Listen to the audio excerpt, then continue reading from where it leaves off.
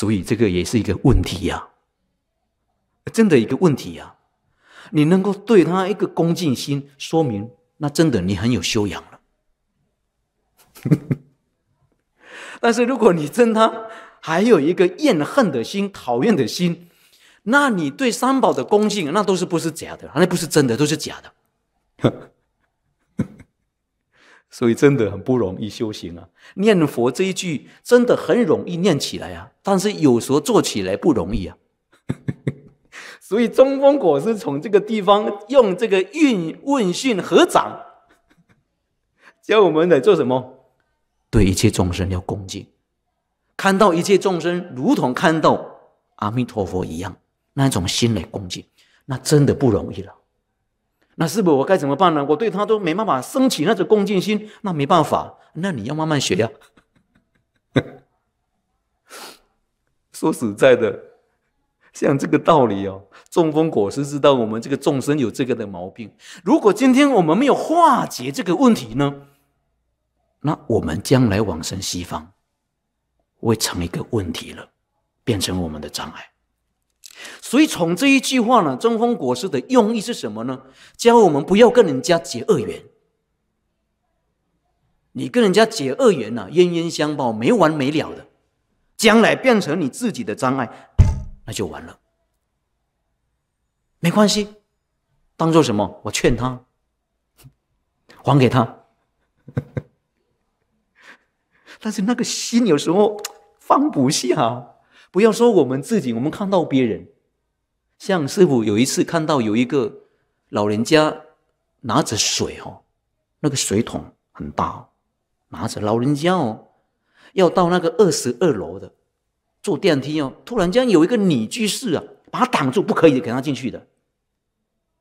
你看到这样的情形，你心会抱怨吗？不满吗？为什么这个人是这样的？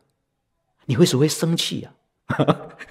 我们看到这样的情形，有时候自己都说不了，何况自己遇到的人对你的伤害，人对你的批评，人对你的种种的不断的伤害，你还会对他的恭敬心吗？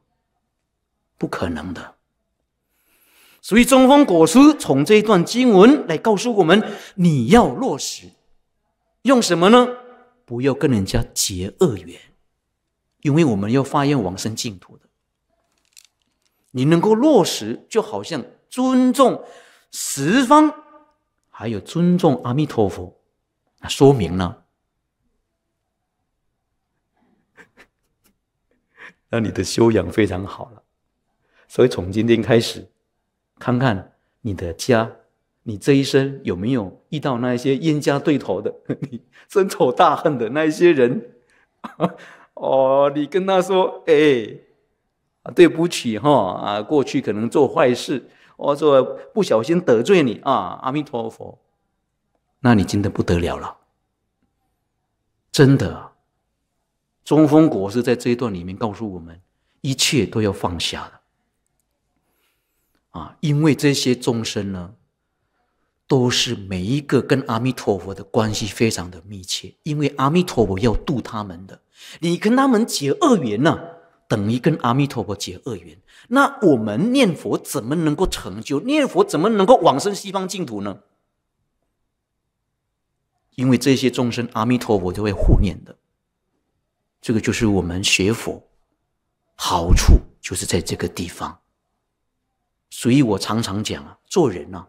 吃亏一点没关系，老老实实、安安分分、傻傻的没关系，傻傻有傻傻的福气了。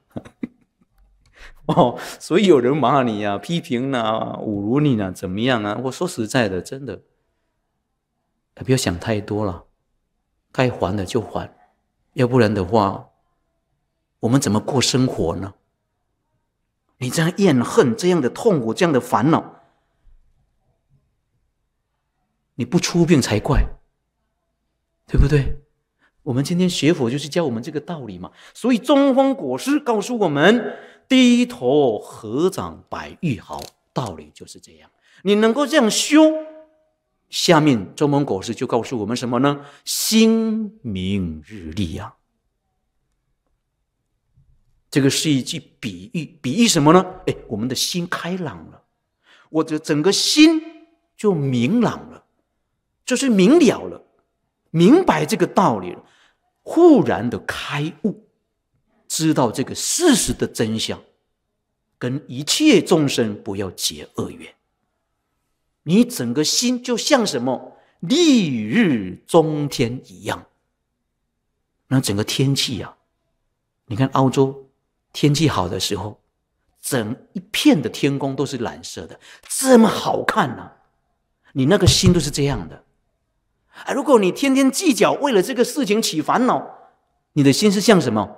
像我们这个澳洲啊，两个星期前不是天天下雨嘛，那个阴天一样。闷闷不乐，活得很痛苦，活得很不开心，啊，天天想着那个问题，计较那个事情，一句阿弥陀佛忘得干干净净的。你能够这样修，中风果实就告诉我们，满天星门一样，这个就是比喻什么呢？你的心态。所以在这个境界当中，我们要去转。这个道理我们一定要知道，所以这一句“低头合掌百玉毫，心明日丽”是讲什么呢？